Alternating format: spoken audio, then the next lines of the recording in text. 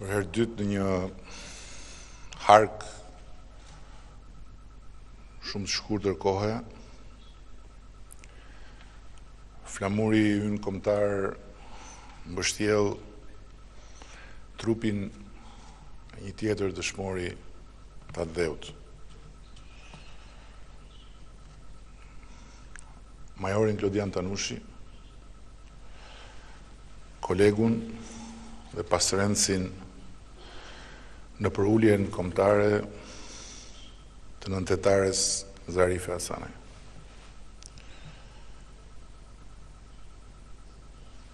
Rikthehemi në një ceremoni funebre si kjo për t'i dhënë lamtumirën një ushtaraku prind i tre fëmijëve.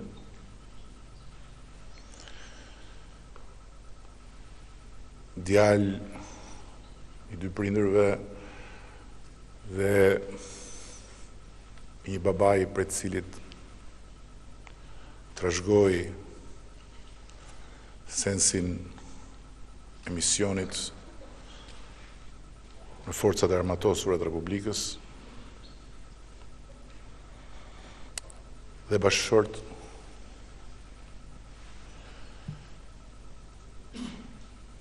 që ndahet krejt para kohe nga gruaja dhe familja e tij. Dhe përsëri është shumë e vështirë për të gjetur fjalë që të mbushin zbrazëtinë e këtij momenti për të gjithë ne, por zbrazëtinë që do të mbetet aty në zemrën e fëmijëve të gruas, të prindërve, të të afërmve dhe të gjithë shokëve të tij të armëve. Sidoqoftë shpresoj që prania jonë këtu së bashku me ju Shumë të respektuar prindër dhe familjarë dhe shumë të dashur fëmijë të dëshmorit t'ju jap sadopak krah për të përballuar humbjen e pazëvendësueshme.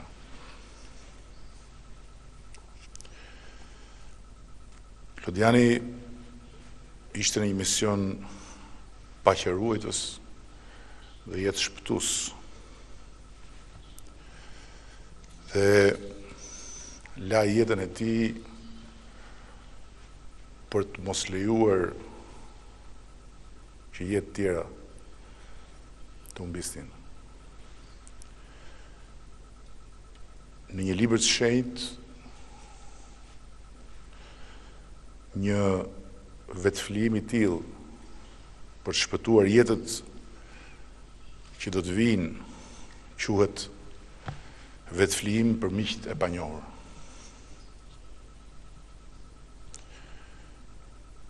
Ky është edhe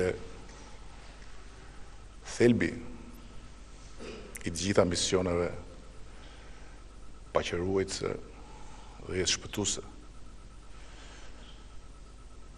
të forcave tona të armatosura si pjesë e aleancës së madhe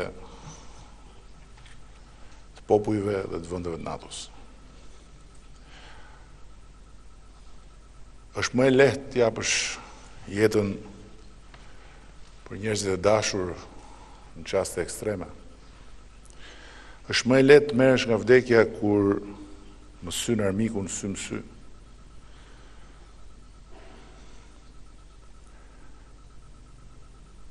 Dhe është më e lehtë të këmbesh gëzimin e jetës së tashme me ikjen në jetën e amshuar për të lënë të jetojë një njeri i mirë, por është tejet më e vështirë dhe besoj edhe sublime të pranosh që jeta jote mund të ndalojë në çdo çast për të shpëtuar jetë të panjohurish. Të pranosh të korresh nga vdekja në një vend që nuk është atdheu yt, sepse duke sheshuar plagën e hapur të minave antinjeri, ke pranuar, ke dashur, të mbjellësh farën e mirë që ushqen jetën. Ky është rasti. Dhe ky është momenti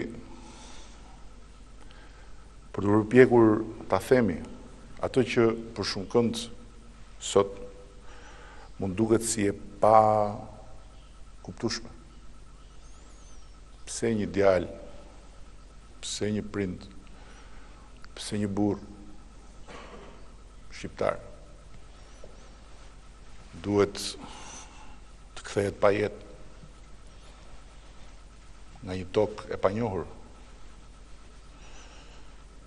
Pikërisht për këtë.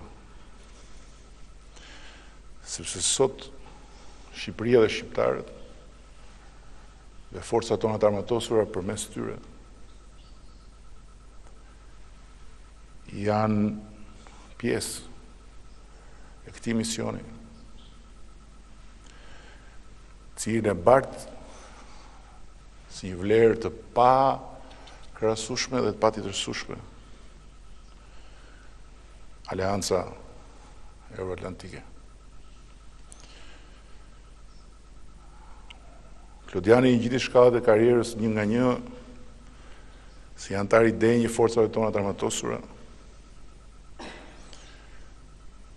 Njeri i përkushtuar fisnik dhe tejet i respektuar. Gjë që Shpjegon përtej dhimbjes njerëzore edhe lotët e panatyrshme në fytyrën e shefit të shtabit teksa foli për të apo zërin e mezi përmbajtur të Ministres së Mbrojtjes e cila E ka njohur dhe personalisht. Për shumë pak kohë, ai do të kthehej në atdhe,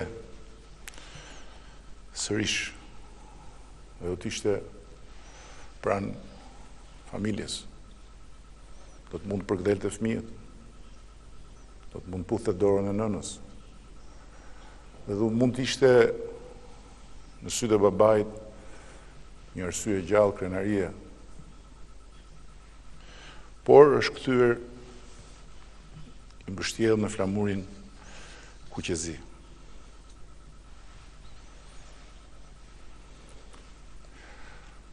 Jo për t'u shkuar në shtëpi, po për t'u bashkuar në banesën e kombit aty ku kombi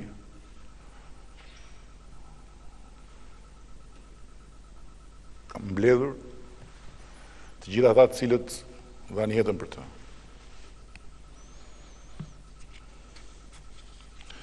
Duke njohur familjet e dy dëshmorëve, Nuk është e vështirë të kuptohet se dinjiteti dhe pasioni për t'i shërbyer atdheut në këtë vijë shumë të hollë mes jetës dhe vdekjes, është edhe trashëgimi brezash. është edhe kultivim vlerash familjare dhe është edhe një provë e asaj që themi ne shqiptarët gjaku nuk bëhet ujë. Jeta e Klodianit, Zarifes dhe qindra efektivëve të tjerë që shërbejnë në misione paqeruajtëse, flet pikërisht për dinjitetin e gjakut që nuk bëhet ujë. Flet pikërisht për shembullin e krijuar ditë pas dite, qysh nga marrja e qumështit të nënës,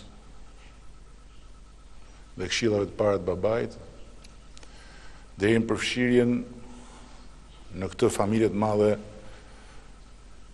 të forcave të armatosura,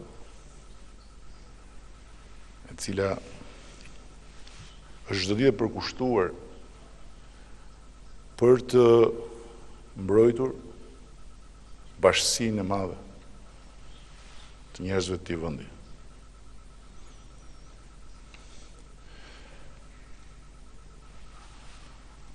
Ata na tregojnë se në fakt paqja ka një çmim. Ka gjithmonë një çmim. Ata na tregojnë se bashkimi ka një vlerë, ka gjithmonë një vlerë. Ata na tregojnë se një kohë vendimtare për Të ardhmen tonë, dielli i shqiptarëve lind si gjithmonë nga Perëndimi. Një tjetër dëshmor nga radhët e forcave të armatosura do të shkojë sot tek nëna Shqipëri. Dhe nuk është e pamundur, përkundrazi është e natyrshme të bëhet lidhja mes atyre që janë simbol i një lufte heroike dhe vendimtare në 75 vjetorin e çlirimit të vendit, Dhe Zarifes apo Klodianit, që u bashkohen në banesën e fundit, si pjesë e një historie të re, që kërkon sakrifica të reja,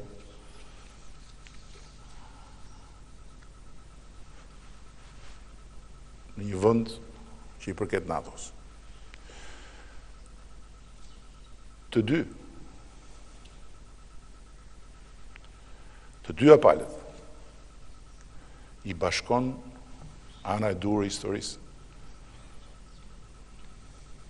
Dëshmorët e luftës.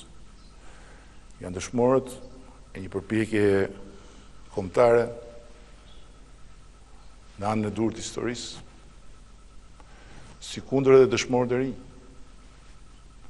Janë dëshmorët e një vetëdije kombëtare të mishëruar në qëndrimin në anën e duhur të historisë. Të ishe dje përballë nazizmit fashizmit ishte të ishe i gatshëm të jepje jetën duke qëndruar në anën e duhur të historisë. Të jesh sot në krah të Shteteve të Bashkuara dhe të gjitha vendeve të tjera që janë pjesë e NATO-s, Do të thotë të jesh i gatshëm të japësh jetën duke qëndruar në anën e duhur të historisë. Ky është një vend shumë i vogël.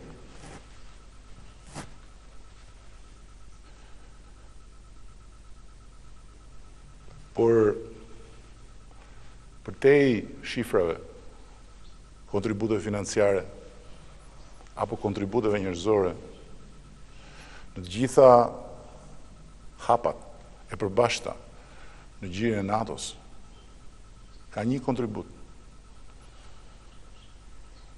që nuk mund të matet në mënyrë sasiore dhe që na bën të gjithëve tërësisht të barabartë, kontributi i gjakut Çdo jetë e dhuruar në emër të vlerave dhe të parimeve që e mbajnë lidhur si një forcë të pakonkurueshme NATO është Një shëmbëlltyrë e pikërisht barazisë së kontributeve dhe e mundësisë për të qenë të gjithë të barabartë në atë pikë ku çdo jetë vlen sa të gjitha jetët e marra së bashku.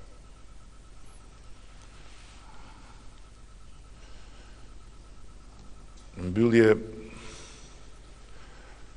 unë dua të shpreh mirënjohjen e thellë sepse është falë dëshmorëve atyre të djeshmes dhe këtyre të së sotmes që ne E kemi të pamundur mjegullimin e të ardhmes, pasi sakrifica e tyre na ndihmon edhe në momentet më të vështira ta dimë ku ndodhet dhe sa vlen ana e duhur e historisë. Qoftë i përjetshëm kujtimi dhe një fjalë për tre fëmijët. Një ditë, kur ju të bëni prindër, do të keni kuptuar përfundimisht atë që babai juaj ka lënë sot shënim në zemrat tuaja.